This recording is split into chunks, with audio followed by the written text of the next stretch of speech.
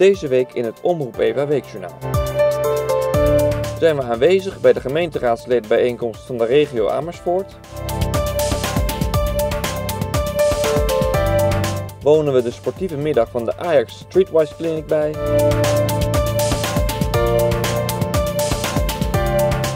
Worden er eieren beschilderd in kringloopwinkel Westerik. Bekijken we de verbouwing van het Museum.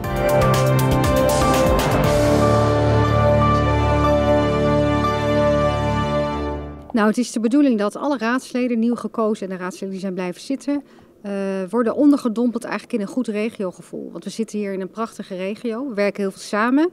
En uh, vaak is dat nog niet uh, voldoende bekend. En ik heb vanavond de raadsleden verteld van voel je nu niet alleen raadslid van je eigen gemeente, maar voel je vooral ook vertegenwoordiger van de regio Amersfoort. Ja, ik denk dat het goed is uh, dat we elkaar ontmoeten en dat we kijken hoe verschillende gemeenten denken over de regio, denken over wonen en economie. uitwisselen, kennis maken, netwerken. Dus ja, dat, en dat is belangrijk, want je hebt elkaar straks nodig. Als ze bijvoorbeeld de zorg naar de, naar de gemeentes gaan, dan moet je met elkaar samenwerken en dat is fijn als je elkaar kent. Ja, binnen de politiek kijkt men heel vaak eh, binnen de eigen gemeentegrenzen, maar voor uh, heel veel bewoners, bedrijven en ook bezoekers uh, zijn die grenzen helemaal niet zo hard. En heel veel zaken die er spelen op het gebied van bijvoorbeeld economie of wonen of het sociaal domein, die zijn grensoverschrijdend. En die kunnen we ook alleen gezamenlijk grensoverschrijdend de problemen oplossen. Nou, ik vind het tot nu toe best wel leuk. We hebben het plenair gedeelte net gehad. En um, ja, ik vind het gewoon uh, een goed initiatief dat gewoon zoveel mensen hier samen zijn. En wij hebben gewoon gemerkt uh, dat je uh, met z'n allen meer bent dan allemaal afzonderlijk. Als je kijkt naar de opkomst is het absoluut een succes. Ik loop hier nu twee uurtjes rond. Ik hoor hele positieve geluiden terug. En het is hartstikke mooi dat men nu kennis met elkaar maakt. Dadelijk zijn er nog een aantal deelsessies waarbij we dieper op de problematieken uh, ingaan.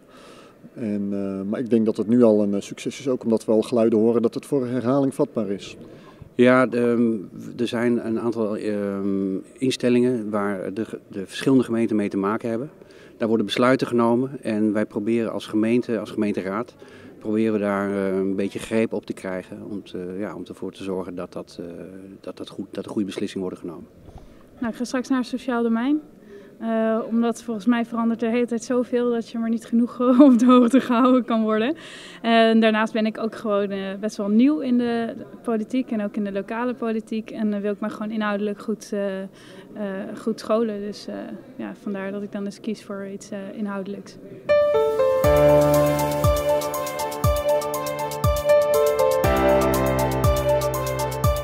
Nou, vandaag hebben we hier een uh, streetwise clinic. We hebben een uh, project dat heet Samen leren, samen voetballen. We hebben verleden week, uh, of drie weken lang hebben we op school ja, education gehad. dus dus allemaal topografie en allemaal rekenen. Op school hebben we afgesloten. Dan sluiten we meestal af vrijdags met een project dat twee spelers van IJs komen. Die kunnen de kinderen een diploma krijgen. Dat is het schoolproject. En dan sluiten we dat, de woensdag daarop sluiten we het meestal af met, met de clinic. dus Clinic Amersfoort sluiten we vandaag af. En er wordt een team uitgekozen en die gaan volgende week uh, naar Amsterdam-Noord bij Only Friends. En daar wordt de finale gespeeld tussen Amsterdam, Zaandam, Hilversum en Amersfoort. En waarbij dus het eerste helft van Ajax aanwezig is, jong Ajax en de dames van Ajax. Dus het, wordt een, ja, het is een fantastisch project. En wat natuurlijk door de Ajax Foundation en Egon enorm gesteund wordt. En ja, je ziet wat een. Uh, we hebben het weer verschrikkelijk mee vandaag. Maar plus ook dat er heel veel enthousiasme is bij de kinderen. Nou, we proberen dus wat ik al zeg, samen leren, samen voetballen. De kinderen veel meer uh, buiten gaan spelen. Je ziet uh, wat de respons het heeft. je ziet heel veel kinderen tegenwoordig achter de computer, alle Playmobil, dat soort dingen. Dus wij proberen de kinderen veel meer te laten bewegen.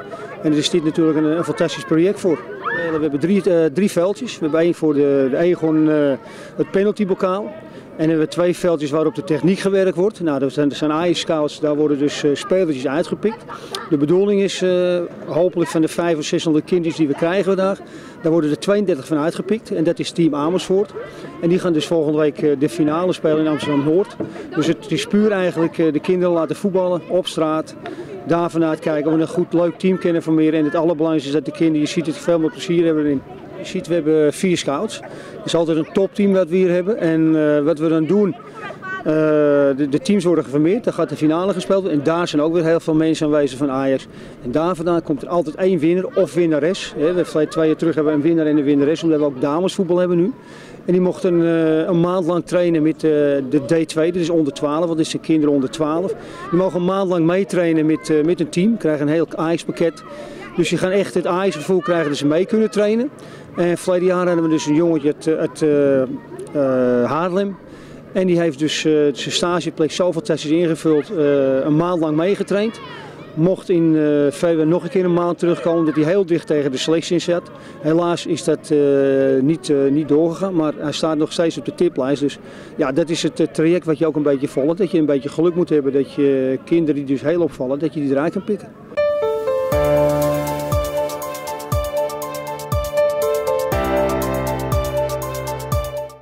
Nou, we hebben vandaag een eierverfactie gedaan met uh, gekookte eitjes uit onze eierautomaat. Ook om de kinderen te laten zien uh, waar de eieren vandaan komen en uh, ja, wat voor effect dat heeft. Dus ze krijgen sowieso het eigen geknutselde ei mee. Ze kunnen een eierdopje zelf knutselen wat ze mee mogen nemen. En ze krijgen een zakje met een verrassing. Een eierautomaat is eigenlijk net als het ouderwetse kroketje trekken uit de muur. Een doosje eieren, je gooit een centje erin, een doosje eieren eruit en uh, je hebt heerlijke verse eieren.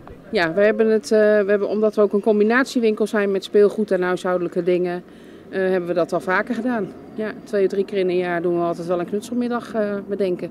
Ja, ook om ja, kinderen toch altijd weer naar je winkel te trekken en te laten zien wat je allemaal in huis hebt. En deze knutselmiddag is echt gericht op de Pasen. Dus met de eierautomaat, het Pasen en het speelgoed en knutselspul wat we binnen ook verkopen, is dat een beetje een combinatie.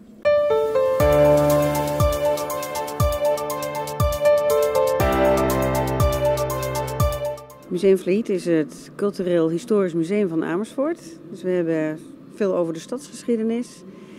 Daarnaast hebben we wisselexposities. En op dit moment hebben we een hele mooie tentoonstelling net geopend over iconen. Er is uh, in vorig jaar al uh, geconstateerd dat de kademuren verzakt waren. Maar naderhand bleek dat uh, die verzakking veroorzaakt werd door het verzakken van de bijgebouwen die je hier ziet aan weerskanten.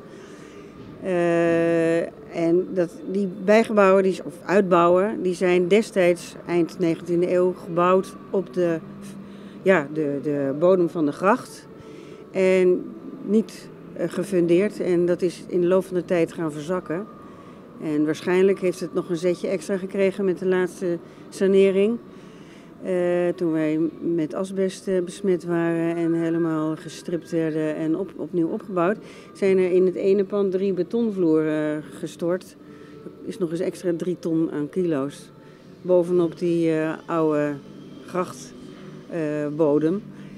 en ja, er moest gewoon wat gebeuren. Dus nu zijn beide gebouwen van binnenuit gefundeerd.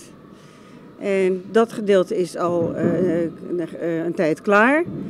Maar nu zijn we nog aan het opbouwen, want uh, aan de andere kant moest uh, de, de toiletten zijn helemaal afgebroken. Dus dat is helemaal met de grond gelijk gemaakt en dat moet weer helemaal opgebouwd.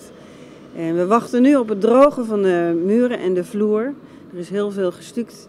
En uh, jammer genoeg duurt dat wat langer dan we gehoopt hadden. Dus het laatste stukje dat gaat wat moeizamer, maar de rest is heel voorspoedig gegaan.